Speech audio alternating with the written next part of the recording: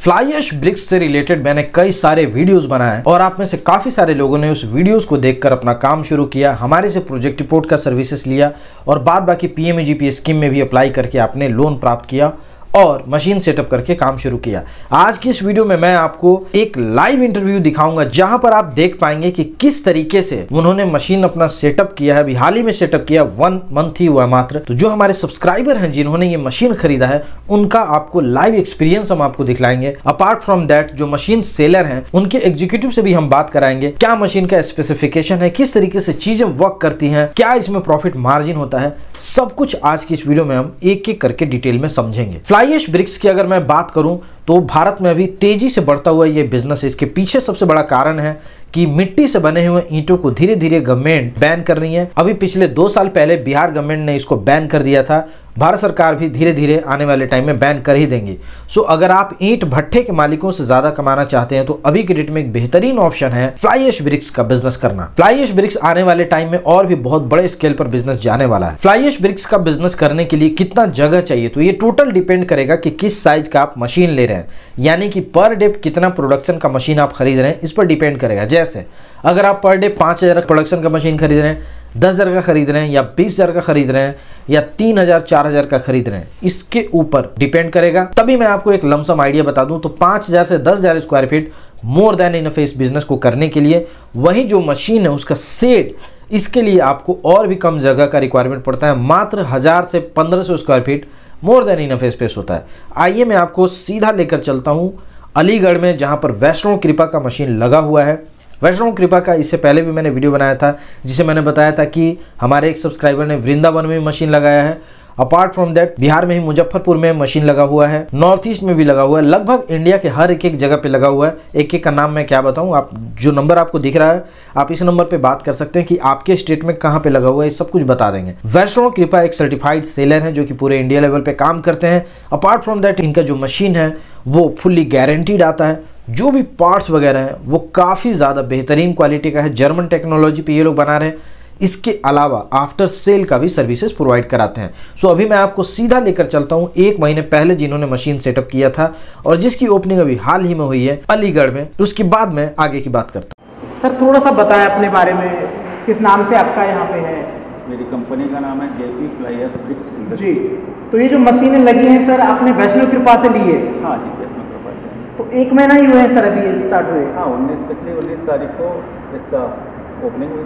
जी। इसका उद्घाटन होने के बाद अब इसे फ़ोटो पे लगाते कर वाह ग्रेट तो सबसे पहले तो बहुत बहुत शुभकामनाएँ सर आपने स्टार्ट की है और काफ़ी अच्छा आपको रिस्पांस मिल रहा है यहाँ पे।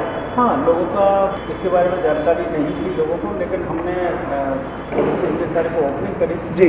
तो ज़्यादा से ज़्यादा इलाके के लोगों को यहाँ बुला के उनसे टूगेदर किया और इसके बारे में हमने एक फ्लाइयर के क्या फ़ायदे होते हैं। उसका एक बोर्ड बना के लोगों को उसको समझाने की कोशिश करी तो लोग समझ पाए और आज डेली दो दो तीन क्वेरी डेली आ जाती है। ग्रेट अमेजिंग तो अभी स्टार्ट है और यहाँ इनको थोड़ा सा बताएँ ये होता क्या है फ्लायर्स ब्रिक्स क्या होता है? हमने ईटें जो है मिट्टी वाली तो सुनी थी या जो है सीमेंट वाली सुनी है लोगों ने बट ये क्या होता है थोड़ा सा बताएँ। ये जो तापीय परियोजना जो थर्मल पावर होते हैं जी। थर्मल पावर से जो गैस जो निकलती है राख जो निकलता है उसे हम्म, उसी को फ्लाइयर को वो एक बेस्ट पार्ट है जी। गवर्नमेंट के। बिल्कुल।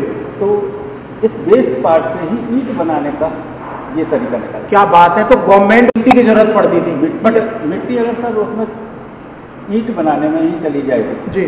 तो उपजाऊ मिट्टी अगर ईट बनाने में चली जाएगी तो हमें खाने को कहाँ से आएगा? बिल्कुल सही बात है। ये पंद्रह साल बाद दोबारा से भी जनरेट हो पाता खेत। बिल्कुल सही जो ज़मीन है अगर उपजाऊ मिट्टी निकल गई तो हम्म। दोबारा से जनरेट होने में पंद्रह साल लगते हैं सही बात है। उस मिट्टी की ईट बन जाएगी। और उससे फ़ायदा कुछ नहीं उसमें सीलन आती है। आपने इस ब्रिक्स में जो अगर बनेगा तो सीलन नहीं आएगी। फ्लाइयर ब्रिक्स कभी सीलन नहीं अभी आपने देखा जो एक्चुअल सेलर हैं उन्होंने अपना एक्सपीरियंस बताया। अब मैं आपको सीधा लेकर चलता हूँ। जो भी कंपनी के एग्जीक्यूटिव हैं वो मशीन से रिलेटेड काफ़ी डिटेल बता रहे हैं कौन कौन सा मशीन है नहीं है और क्या उसकी स्पेसिफिकेशन है एक बार उसको समझते हैं। हमारे पास मैनुअल मशीनें भी तैयार की जाती हैं सेमी ऑटोमेटिक भी की जाती हैं फुली ऑटोमेटिक भी कहते हैं। फुली ऑटोमेटिक में अपना हाइड्रो वाली मशीन भी है जी। और हाइड्रो प्लस वाइब्रो भी है और मिनी वाइब्रेशन के साथ अपनी हाइड्रो मशीन भी आती है। ग्रेट तो हर तरह की मशीनें कुल मिला के यहाँ पे बनती हैं। तो आप इनसे मशीन ले सकते हैं सर। ऐसे तो बहुत सारे लोग सर सबसे पहला पॉइंट तो हमारी मशीन का ये है कि हमारी जो मशीनें हैं तो पावर कंज्यूम बहुत कम करती हैं। ओके। किसी अन्य कंपनी की मशीन से आप कंपेयर करते हैं। जी। तो जैसे आप ये देख सकते हैं कि हमारी पंद्रह ब्रिक वाली मशीन है। हमने इसमें हाइड्रोलिक पावर पैक पर ओनली मात्र आप 10 एच की मोटर से पूरा प्लांट चला रहे हैं। वो भी अच्छी स्पीड में प्लांट चलता है। बाकी की आप किसी और कंपनी की देखेंगे तो इससे ज़्यादा ही मिलेगी आपको कम नहीं मिलेगी। तो क्या प्रोडक्शन वगैरह पड़ता है एक ब्रिक्स का और कितना उससे इनकम जनरेट कर सकता है? सर प्लांट लगाना चाहता है तो मशीन की क्या प्राइस वगैरह होंगे? सर मशीनों की प्राइस सर ब्रिक के हिसाब से होती है। हर प्लांट की हर एक अलग की प्राइस होती है। कोई एक फिक्स नहीं होता सर कोई चार ईंट वाली है। छः वाली है आठ वाली है दस वाली है बारह वाली है पंद्रह वाली है अठारह वाली है। इन सभी के प्राइस अलग होते हैं। इनकी एसेसरीज भी एक्स्ट्रा हो जाती है उनके सामने। जैसे कि आप ये देख रहे हैं कि पंद्रह इसमें ऑटो स्टैकर हमने कंपलसरी ही कर दिया है इस मशीन में। Okay okay. ऑटो स्टैकर में तो पंद्रह ईंट आती है तो लेबर उठाने में थोड़ी तकलीफ़ होती है। तो ऑटो स्टैकर क्या है? उतार के प्लेटों में नीचे रख देता है। वहाँ से लेबर को हाइड्रोलिक प्लेट वाली गाड़ी से ले जाकर बाहर रख देते हैं। अब वो छोटी मशीन है तो फोर ब्रेक वाली मशीन है वो अपनी सेमी ऑटो ले लो या फुली ऑटोमेटिक ले लो। चार ब्रेक के लेबर आराम से उठा सकती है। उसमें भी सारी चीज़ें नहीं दिखती। तो उसमें थोड़ा कॉस्ट कम हो जाती है तो अलग अलग मशीनें हैं और सभी मशीनों के अलग अलग प्राइस हैं। लगाना चाहे तो कितनी जगह की आवश्यकता है और कहाँ कहाँ लगा सकता है? सर जैसे कि आप ये प्लांट आप देख रहे हैं पंद्रह फिट का प्लांट है। जी। इसमें लगभग साढ़े चार हज़ार से पाँच हज़ार गज ज़मीन चाहिए इस प्लांट की ओके जैसे कि आप देख रहे हैं इसमें पचास बाई अस्सी का टीन सेट पड़ा हुआ है। इसमें अपनी मशीन पैलेट वगैरह और भी टेस्टिंग इक्विपमेंट होते हैं और जो रेडियाँ वगैरह होती हैं सारी इसके अंदर रहती हैं। सीमेंट का भी साइड में आप स्टोर बना सकते हैं इसके अंदर। और बाकी मशीन के ऊपर वेरी करता है टीन सेट कितना होना चाहिए और जगह कितनी होनी चाहिए। ओके ग्रेट इनको लगा के आदमी कितना कमा सकता है कितना खर्चा पड़ता है इसको बनाने में?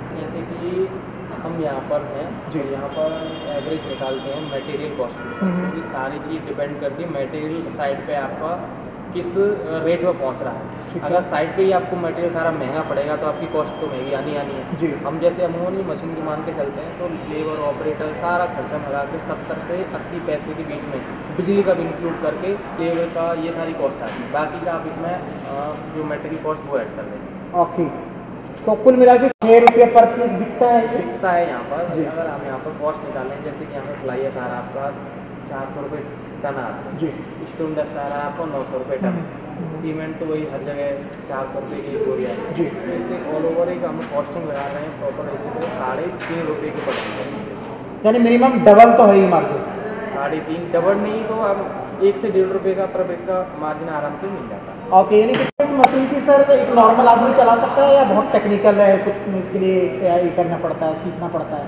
सर जो फुली ऑटोमेटिक मशीन होती है इसके अंदर होता है P L C based panel okay तो थोड़ा जानकार बंदा रहता है तो ज़्यादा तकलीफ़ ही नहीं आती है। हम्म। बाकी के महीने दो महीने में नॉर्मल लेबर भी समझदार हो, आसानी से तो आसानी से सीख सकता है। तो बैकअप सपोर्ट क्या रहता है सर? जैसे कोई मशीन लेता है कोई प्रॉब्लम आती है तो आपका ऑल इंडिया सपोर्ट रहता है? सर यहाँ पर आपका लेबर में कोई अगर टेक्निकल बंदा होता है तो पहले तो हम कोशिश करते हैं उसी को सारी चीज़ें समझा कर वो चलवाने अगर वो नहीं चला पाता है हम्म। तो हमारी ऑफ़िस की तरफ़ से महीने दो महीने के लिए ऑपरेटर भी प्रोवाइड करा दिया जाता है। तो वो सैलरी बेस्ड होता है। ओके ओके ओके बड़ा इशू आता है तो उसकी हमारी टीम जाती है। और प्रॉपर वहाँ साइड पर मशीन को रन करके आती है। अभी आपने पूरा डिटेल में देखा मशीन के बारे में। मैनुअल मशीन भी मिलता है सेमी ऑटोमेटिक भी मिलता है और फुली ऑटोमेटिक भी मिलता है। टोटल डिपेंड करता है कि आपका खुद का किस तरीके का रिक्वायरमेंट है, कितना ज़्यादा आप सेल कर पाएँगे, क्या आपका कस्टमर बेस है, उसके अकॉर्डिंग आपको चुनना है। और उससे भी इम्पोर्टेंट कि कितना आपका फाइनेंशियल है और उससे भी इम्पोर्टेंट कि कितना आप पूंजी लगा सकते हैं, लगाने में सक्षम है। अगर मैं फ्लाइश ब्रिक्स बिज़नेस के वन टाइम सेटअप की बात करूँ तो अगर आप छोटे लेवल पे अगर आप शुरू करेंगे तो वैष्णव कृपा का तीन से चार लाख रुपए पाँच लाख रुपए का भी मशीन है। और वहीं अगर आप अच्छे लेवल पे जा रहे हैं तो दस से पंद्रह लाख रुपए का भी मशीन है। छोटे लेवल पे अगर आप चार से पाँच लाख रुपए का मशीन में शुरू करेंगे तो टोटल आठ से दस लाख रुपए के पूंजी में आप काम शुरू कर सकते हैं। लेकिन अगर आप बड़े लेवल पे काम शुरू करना चाहते हैं, जो आठ से दस ब्रिक्स का, जो भी आपने वीडियो में देखा है तो इस लेवल का बिज़नेस करने के लिए वन टाइम इन्वेस्टमेंट आपका कम से कम कम से कम पच्चीस से तीस लाख रुपए तक जा सकता है। इंटरेस्टिंग बात यह है कि इस काम के लिए आपको भारत सरकार की तरफ़ से लोन भी मिलता है। पीएम पीएमजीपी स्कीम में सरकार 50 लाख रुपए तक का फ्लाइश ब्रिक्स बिज़नेस के लिए लोन प्रोवाइड करा रही है। जहाँ पर आप लोन तो ले ही सकते हैं, साथ ही साथ 25 से 35 परसेंट तक का लोन में सब्सिडी भी प्राप्त कर सकते हैं। पीएम पीएमजीपी स्कीम में लोन अप्लाई करने के लिए वेरियस टाइप का डॉक्यूमेंट का रिक्वायरमेंट पड़ता है, जैसे सबसे पहले प्रोजेक्ट रिपोर्ट हो गया, उद्यम रजिस्ट्रेशन हो गया इसके अलावा ऑनलाइन यहाँ पे फॉर्म भरना होता है डीआईसी अप्रूवल होता है और तब जाकर बैंक से आपको पैसे मिलता है। इन सारे प्रोसेस को और डॉक्यूमेंटेशन के लिए, इन सारे प्रोसेस के लिए और डॉक्यूमेंटेशन के लिए स्क्रीन पर जो नंबर आपको दिख रहा है, आप इस नंबर पे कॉल कीजिए और अपना काम करवाइए। घर बैठे बैठे आप लोन प्राप्त कर सकते हैं पीएम स्कीम में। My project report dot com company इसमें पूरा का पूरा काम करती है और इंडिया लेवल पे आपको सपोर्ट भी प्रोवाइड कराती है। अब मैं आपको दिखाता हूँ मशीन ये काम कैसे करता है। Fly ash bricks making process